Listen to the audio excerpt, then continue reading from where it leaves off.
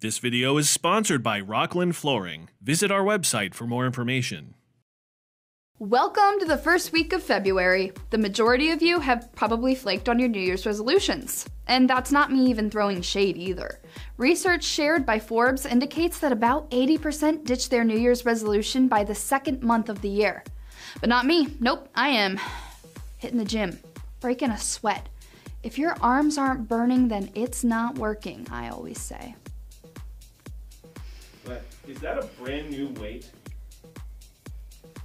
We're getting off topic. My point being that these resolutions help us to better run our lives, so we shouldn't be so quick to give up on them. Just as things may be going well for a business or fleet operations, there is always room for improvement and optimization. The metaphor, don't fix what isn't broken, isn't really a concept that applies to this particular industry. Even when things are running smoothly, proactively seeking out ways to improve and prevent potential issues is crucial for long term success. Utilizing trucks with downspeeding capabilities is a great place to start.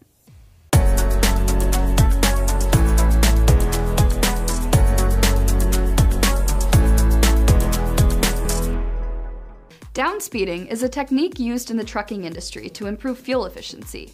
It involves reducing the engine RPM at a given road speed. Less fuel is consumed, thus leading to a reduction in fuel costs.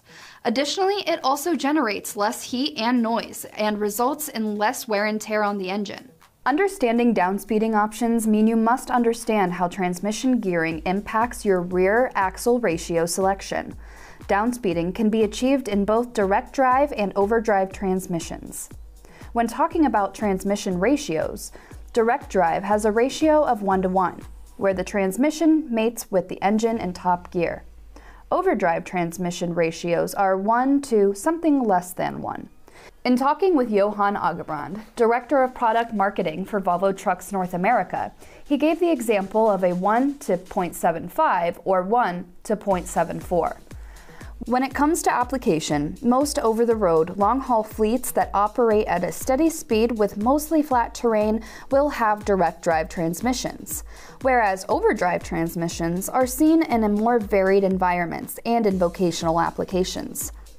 An important thing to remember is that the selection all depends on your specific application and the choice could shift as powertrain technology evolves, as in the case of Volvo's D13 turbo compounding engine paired with a 13 speed Volvo I-Shift AMT that brings overdrive downspeeding functionality to on highway fuel efficiency. But we'll have another video on that.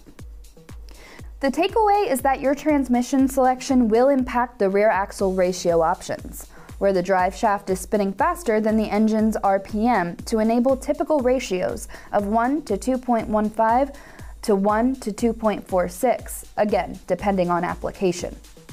The rear axle ratio is simply the number of teeth on the ring gear divided by the number of teeth on the pinion. For example, a 2.16 ratio could have 41 teeth on that gear and 19 teeth on the pinion. 19 to 41 equals 2.159 ratio.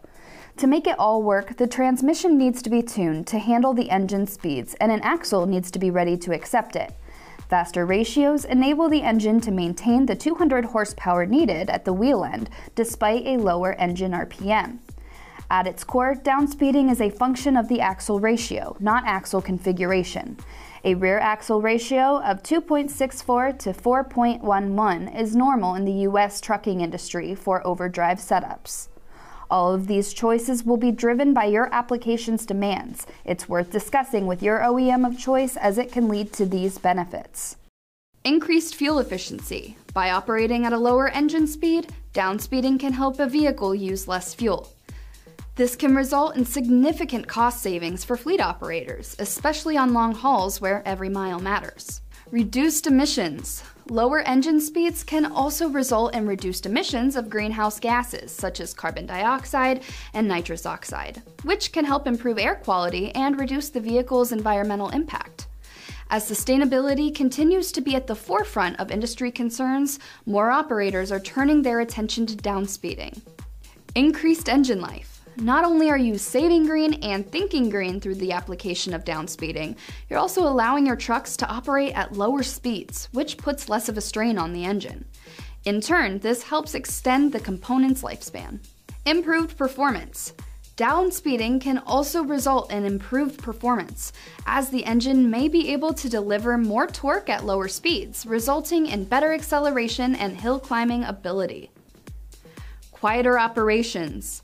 Lower engine speeds can also result in quieter operations, which can be beneficial in urban or residential areas where noise pollution is a concern. For more trucking and equipment content, head over to the Fleet Equipment site at fleetequipmentmag.com. We'll see you next time.